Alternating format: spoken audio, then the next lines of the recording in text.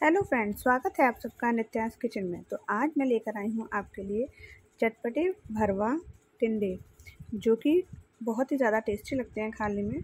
और ये जिस तरह से मैंने बनाए हैं, अगर आप उस तरह से बनाएँगे तो ये कई दिनों तक चल सकते हैं। जल्दी ख़राब भी नहीं होते हैं और आप इन्हें पूड़ी, पराठे, रोटी के साथ एंजॉय कर सकते हैं और आप चाहें तो इन्हें सफ़र में भी ले जा सकते हैं, क्योंकि सफ़र में जाने पर ये जल्दी से ख़राब नहीं होते। तो चलिए इन टेस्टी टिंडों को कैसे बनाते हैं, देखते हैं।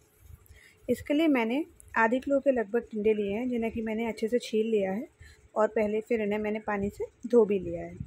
इसके बाद हम क्या करेंगे, इसके बीच में से चार टुकड़े कर लेंगे, लेकिन अलग नहीं करना है इनको, सिर्फ़ चाकू लगाना है और इस तरह से, जैसे देखिए, ये अलग नहीं होने चाहिए, पीछे से जुड़े हुए हैं, ठीक है? तो जो हमारे सारे टिंडे हैं तो इस तरह से हम उसमें कट लगा लेंगे। एक कट इधर से लगाएँगे और एक कट उसके अपोजिट साइड से लगाएँगे। और देखिए, नीचे से ये चुपके रहेंगे। नीचे से इनको पूरी तरह से काट के अलग नहीं करना है। और इसी तरह से काट के हम अपने सारे टिंडे तैयार कर लेंगे।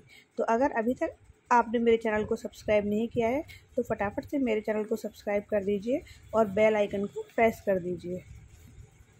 ताकि जो भी मैं नई नई रेसिपी लेके आऊँ, उसका नोटिफिकेशन आप तक फटाफट पहुँच सके। तो चलिए, मैंने सारे टिंडे कट लगा कर तैयार कर लिए हैं। अब हम इसके लिए मसाला तैयार करेंगे। तो मसाला बनाने के लिए हमने एक प्लेट ले ली है, जिसके अंदर हम सारे मसाले डाल देंगे। तो इसमें हम सबसे पहले हम डालेंगे पिसी हुई सौंफ। तो जो सौंफ होती है नॉर्मल उसको आप पीस लीजिएगा। एकदम महीन नहीं पीसना है, थोड़ा दरदरा ही रखना है। और दो चम्मच के लगभग हम इसमें सौंफ डाल देंगे। और उसके बाद हम इसके अंदर डालेंगे दो बड़े चम्मच के लगभग ही हम इसमें धनिया पाउडर डालेंगे। तो देखिए, एक चम्मच मैंने डाल दिया है और एक चम्मच मैंने और डाल दिया। तो दो बड़े चम्मच मैंने धनिया पाउडर ले लिया है। इसके बाद आधा चम्मच हम हल्दी पाउडर लेंगे और आधा चम्मच के लगभग ही हम इसके अंदर लाल मिर्च पाउडर डाल देंगे। इसके बाद अब हम इसके अंदर अमचूर पाउडर डालेंगे। आधा चम्मच के लगभग ही हम इसमें अमचूर पाउडर डाल देंगे। और थोड़ा सा एक चौथाई चम्मच के लगभग हम इसके अंदर डालेंगे गरम मसाला पाउडर। और एक चुटकी के लगभग हम इसके अंदर हींग डाल देंगे। हींग डालने से इसका टेस्ट बहुत ही ज़्यादा अच्छा आता है। तो इसलिए हींग डालना बिल्कुल ना भूलें। और अब इसके बाद हम इसके अंदर डालेंगे नमक, जो कि बहुत ज़रूरी है। तो मैंने इसमें एक चौथाई चम्मच के लगभग नमक डाला है। आप चाहें तो एक बार मसाले को मिक्स करके थोड़ा चेक कर लें कि नमक कम या ज़्यादा तो नहीं है। और उसके अनुसार आप चाहें तो इसमें अगर नमक कम हो तो थोड़ा नमक और डाल सकते हैं। तो इस तरह से पहले मसाले को मिक्स कर लें और थोड़ा एक बार ही देख लें कि जो नमक है वो ठीक डला है या नहीं डला है।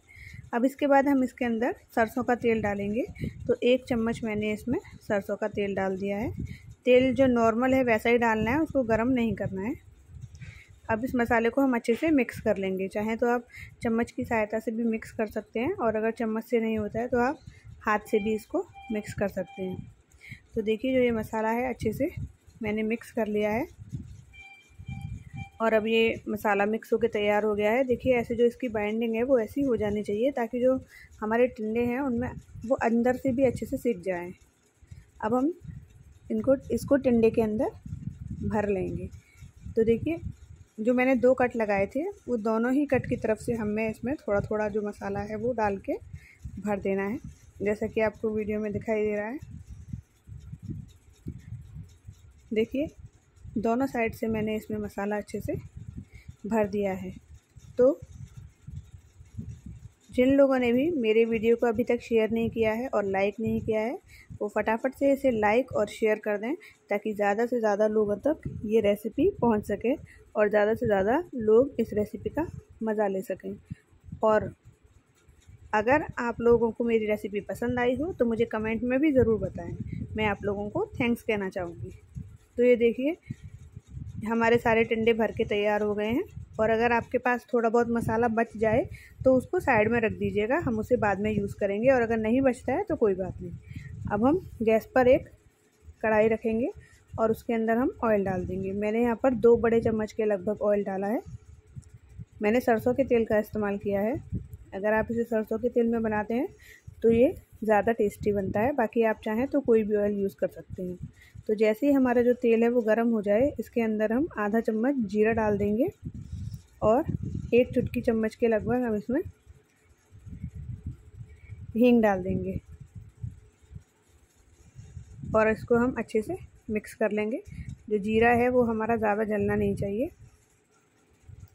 अब जो हमने टिंडे भरकर तैयार किए थे, वो जो सारे टिंडे हैं, हम इसमें एक एक करके सीधे सीधे डाल देंगे। तो देखिए, जो ये मेरे टिंडे हैं, मैं इनको इसमें अब डाल दूँगी। जो आँच है उसको आप धीमी ही रखिएगा, उसे तेज़ नहीं रखनी है। और ये सारे टिंडे एक एक करके मैंने इसमें अच्छे से डाल दिए हैं। सभी टिंडों को पहले एक साइड से ही डालिएगा, ताकि तब जब आप उसको पलटें तो आपको ध्यान रहे कि हाँ ये इस तरफ़ से सिक गए हैं। और हमें इन्हें पलट पलट करके तीनों चारों साइड से अच्छे से सेक लेना है। तो ये देखिए, मैंने अपने सारे टिंडे इसमें डाल दिए हैं।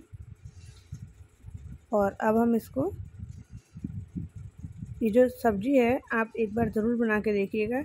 ये बहुत ही ज़्यादा टेस्टी बनती है। और सबको घर में ये बहुत ही पसंद आती है। और पूड़ी और पराठे के साथ तो इसका मज़ा ही अलग आता है। तो देखिए, अब मैंने इसको ढक दिया है और मैंने इसको ढक कर लगभग पाँच मिनट के लिए पकाया है धीमी आँच पर। और अब देखते हैं। देखिए, एक साइड से जो ये टिंडे हैं, वो सिक गए हैं अच्छे से। और इन पर कलर भी बहुत अच्छा आ गया है। तो अब हम इसको दूसरी साइड से सिक जाएँ, इसके लिए हम इन सबको पलट देंगे, ताकि ये दूसरी साइड से भी अच्छे से सिक जाएँ, जैसे कि ये पहली साइड से सिक गए हैं। देखिए, सारे टिंडे अच्छे से सिक गए हैं और कलर भी बहुत सुंदर आ गया है। तो मैंने ये सारे टिंडे पलट दिए हैं और अब मैं इसको लगभग पाँच मिनट के लिए सिम गैस पर और पकाऊँगी। तो देखिए, पाँच मिनट हो गए हैं और अब देखते हैं ये उस साइड से कैसे सिके हैं। तो चलिए इनको पलट कर देख लेते हैं। और ये देखिए, दूसरी साइड से भी ये अच्छे से सिक गए हैं। अब जिस साइड से ये थोड़े आपको लगे कि यहाँ से सिके नहीं हैं, उस साइड से आप इनको दोबारा से पलट दीजिए, ताकि ये चारों साइड से अच्छे से सिक जाएँ। तो जो भी साइड इसकी थोड़ी बहुत कच्ची रह गई हो, वो साइड आप नीचे कर दीजिए, ताकि उस साइड से भी ये सिक जाएगा। मैंने भी देखिए सारे टिंडे अलट पलट दिए हैं, और जहाँ से ये सिके नहीं है, वो साइड मैंने नीचे कर दिया अब हम इसको पाँच मिनट के लिए ढककर दोबारा पकाएँगे। तो देखिए मैंने इनको अब ढक दिया है। और अब पाँच मिनट के बाद देखते हैं कि ये कैसे पके हैं। तो चलिए पाँच मिनट हो गए हैं। अब हम इसको हटाकर देखेंगे कि हमारे टिंडे पक गए हैं या नहीं। तो देखिए जो हमारे टिंडे हैं वो लगभग पककर बिल्कुल तैयार हो चुके हैं और कलर भी बहुत सुंदर आया है। और चारों साइड से जो हमारे टिंडे हैं वो अच्छे से सिक गए हैं। अगर आपके पास मसाला थोड़ा बहुत बचा हो जो आपने भरने में बनाया था, जैसे कि मेरा थोड़ा सा मसाला बच गया था तो मैं उन्हें उस मसाले को भी इसमें ही डाल दूँगी। साइड में जो ऑयल रहता है उसमें, ताकि वो मसाला भी मेरा इसमें ही पक जाए। और अगर आपके पास नहीं बचा है तो कोई बात नहीं। तो देखिए, जो मैंने मसाला इसमें डाला था, वो भी इसमें अच्छे से भुन जाएगा आप साथ में ही। और उसको हम अलट पलट करके अच्छे से भून लेंगे। तो ये जो मेरे टिंडे हैं वो बिल्कुल तैयार हैं। आप इसको एंजॉय कर सकते हैं पूड़ी के साथ, पराठे के साथ, रोटी के साथ, चावल के साथ और चाहें तो सफ़र में भी ले जा सकते हैं। ये बिल्कुल भी हफ़्ते भर तक ख़राब नहीं होते हैं और ऐसे कैसे ही बने रहते हैं। तो एक बार इस रेसिपी को ज़रूर ट्राई करके देखिएगा। चलिए अब इसे सर्व करते हैं। तो देखिए जो टिंडे हैं कितने अच्छे बने हैं और मैंने इसे धनिया पत्ती से सजा कर सर्व कर दिया है। ये खाने में बहुत ही टेस्टी लगते हैं। तो अगर आपको मेरी रेसिपी पसंद आती हो तो मेरे चैनल को सब्सक्राइब ज़रूर करें और सब्सक्राइब किए बिना बिल्कुल भी ना जाएँ और मेरी रेसिपी को लाइक करें और इसे शेयर करें ताकि ज़्यादा से ज़्यादा लोगों तक ये पहुँच सके अपने ग्रुप्स में और अपने फैमिली में अपने फ्रेंड्स को इसे शेयर कीजिए, इसे लाइक कीजिए और सब्सक्राइब कीजिए।